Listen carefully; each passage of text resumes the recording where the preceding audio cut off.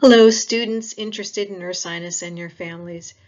Uh, because we can't meet in person, I have this narrated slideshow for you. I'm Dr. Ellen Dawley. There's, I even gave you a picture so you can see what I look like. I'm the uh, coordinator for Health Professions Advising at Ursinus College and also a professor of biology. Ursinus is a place for students. It starts and it ends with our students, and that's how this PowerPoint is going to run through. So I'll have some uh, notes about some of what our students have been doing at the beginning, and then in the middle there'll be a bunch of informational slides, and at the end I come back to our students. I won't really be talking through all of this or have much to say through all of this. Um, I'll let you go through at your own pace. Um, here's our some of our recent graduates to give you an idea of what they what they're like and where they've gone. So we advise every type of health professions from the two types of medical schools, MD and DO, and you can see the list there, it goes through everything. And these are some fairly recent students gone on to some very nice institutions.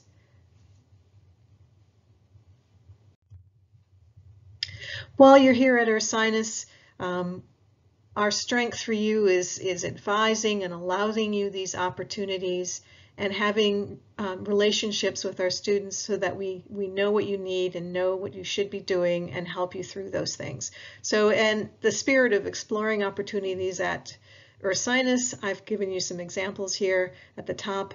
There's a group of Bonner students and they are students dedicated to service. And this is a recent uh, fairly recent trip to Jamaica, a service trip, and there's two of my students who've gone on to medical school, Stephanie Hawkins, Penn State Hershey, and Devayu Parikh, who went on to Jefferson Medical College. Min Sun over there at the top is last year's summer fellow in ethics, and she's interested in dental school, so she's now applying, but her summer fellow project, which is a research project, was not about dentistry as a science, but the ethics behind offering care to people. In the middle is one of my old students, Kevin Hugheim, who's now been accepted to the Kansas City University of, of Medicine, and he was a wrestling athlete. Many of our pre-health students are athletes. Jessa Vedeketh, who is now at Drexel University College of Medicine, was an off-campus researcher at Fox Chase Cancer Center and I finally, I've given you Jessica Saunders and Annie Copera when they were doing summer fellows in biology, where Jessica was an incoming freshman and Annie was her mentor in our program for, uh, for science students trying to enter into the field. And I also wanted to say that we um, know that the pathway to health professions isn't always a straight one.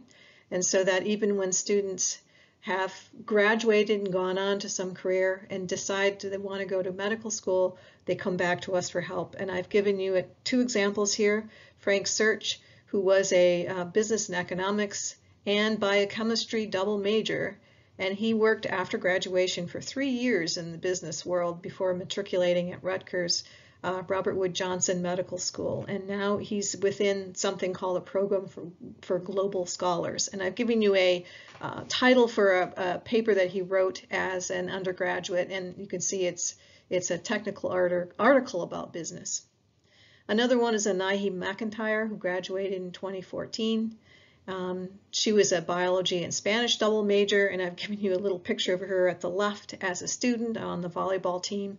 But the other thing that was influential for her is that she spent uh, a semester abroad in Chile, uh, Chile as a Spanish major. And after completing or after graduating from Ursinus, she went on to do a master's at Philadelphia College of Osteopathic Medicine, and that is where she has matriculated in their medical program. Both these people um, were gone for a couple of years from Ursinus and, and sent me an email and asked, can you now help me? And I was happy to be able to help these people. So you can see our, our message here is we want our students to get what they what they want out of life and we're here to help them get those um, reach those goals. And we're here to also make your college experience a very rich college experience. And so I want to also share this email I received on April 4th uh, from a student who had graduated in 2017, Aaron Nelson, who told me that he's been accepted to PCOM's medical school. And I think wrapping up what I'm trying to say here, our advice, our assistance, our committee letters, and our support, which was which helped him reach what he wanted to do. So Ursinus is about community and it's about nurturing our students. Specifically for health professions, we have a pre-health professions advising committee, which I am the chair for. And here's a list of the members. Mostly they're uh, biology professors, but there's HEP, which is health and exercise physiology, um, and chemistry and, and neuroscience are involved in being on this committee. Many of our students are health, are sorry, are science majors, and that's why we have so many science professors on our committee, but we're not limiting any student's major who wants to go into a health profession. All right, now here's going to be a series of um, slides that you can take your time going through, and I'll just touch on them a little bit. You can stop between slides and think about them more yourself. Didn't want to spend too much time talking at you. So one of the things is that I just alluded to is there's no um, particular major that's required for any health graduate program. Having said that, most of our students are science majors, and I think that makes some sense because it's a science-oriented person and often thinks about a health career. There are particular prerequisite courses, which I'll show you an example of in a moment. Um, of course, your GPA needs to be high. All of them have a standardized tests right now that need to be in, within a particular range. So the MCAT is the example the one for medical schools. Medi uh, health professions expect some clinical experience, and this is one way we can help students. We can help them find those clinical experiences. And finally, uh, applicants need to have this interest and care for the world in general. And so they need to expand themselves, be real liberal arts type of students and show those health professions that in addition to being able to do science, they are a person who cares about other people. All right, my advice is always to major in what you're passionate about, to keeping in mind that I see over and over students come in to Ursinus saying they're interested in medical school, but something happens, they change their mind, they find they can't do it, and so you should really pick that major that you can see yourself doing when you're graduating. And I do want to say don't pick a major to hide a weakness. That is a weakness perhaps in science. Here's that list that I promised you of uh, required courses, at least for medical school. As you can see, it's not a whole lot, right? Um, so medical schools are basing a lot of their um, decisions upon that MCAT, that standardized test.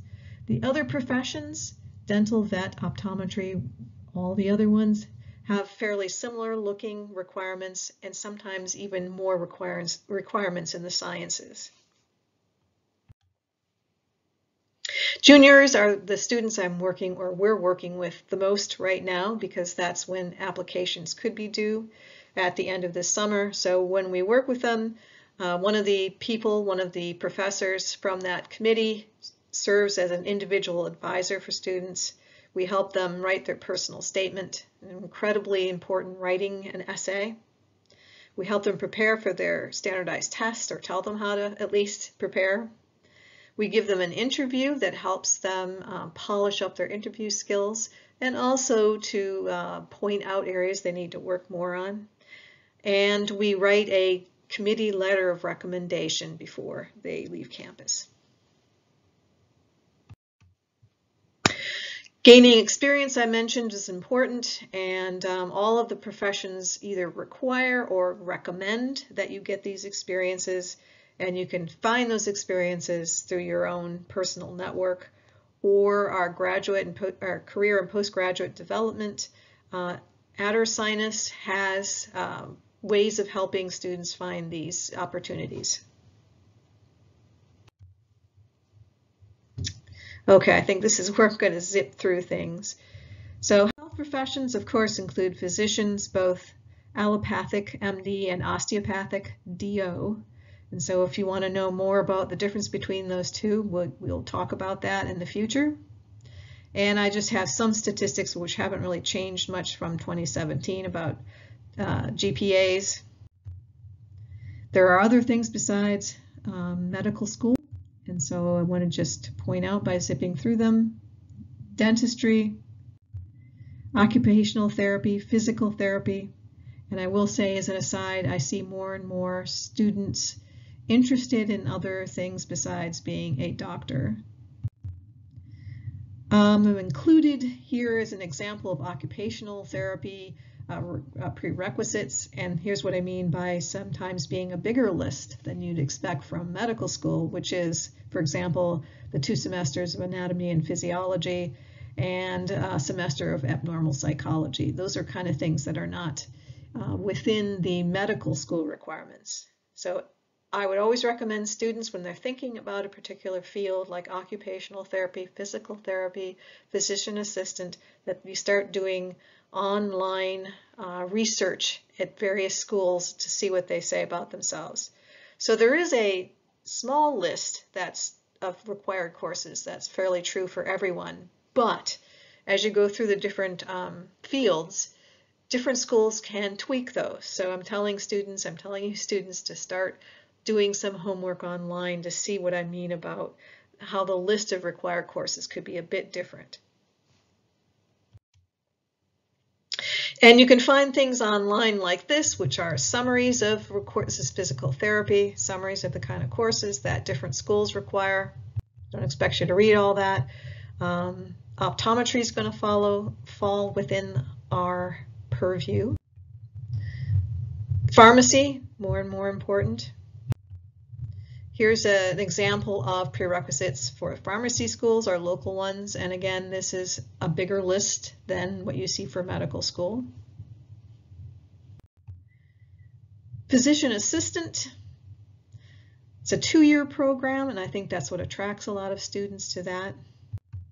And they have fairly strict, or I should say, larger requirements than medical school themselves. And here's an example of the kind of courses that are required. And the other thing I want to point out for this particular field is that, and this is for uh, Philadelphia College of Osteopathic Medicine, which has a number of different uh, graduate degrees, including uh, PA, not, but not limited to that is that um, you this is a field in which you have to have healthcare experience. And this is a, on the lower end, and I've put a little circle around a little oval saying they need 200 hours, but I've seen up to 800 or 1,000 hours for physician assistant programs.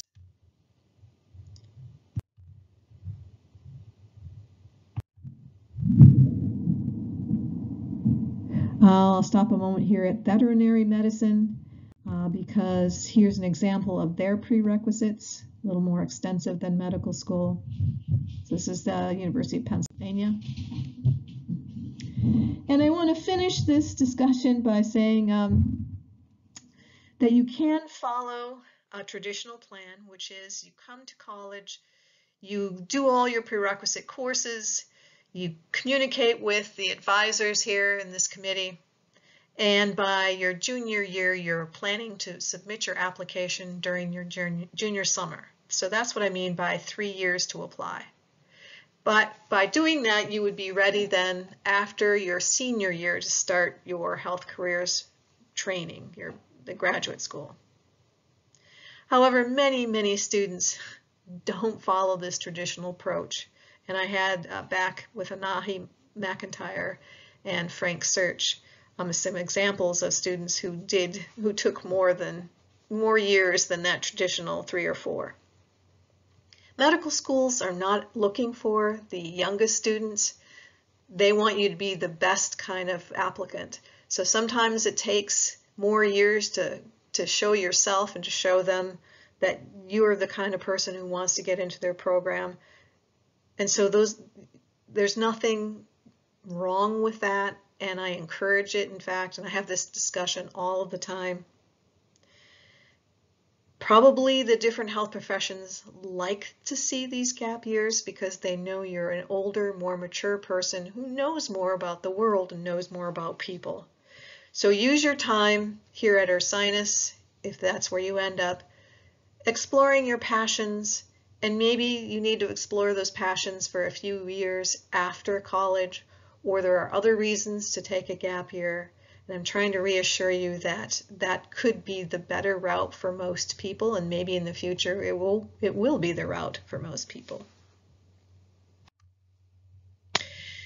Okay, I'm trying to anticipate some of your questions. Here's a list of, a partial list of recent acceptances by UC students.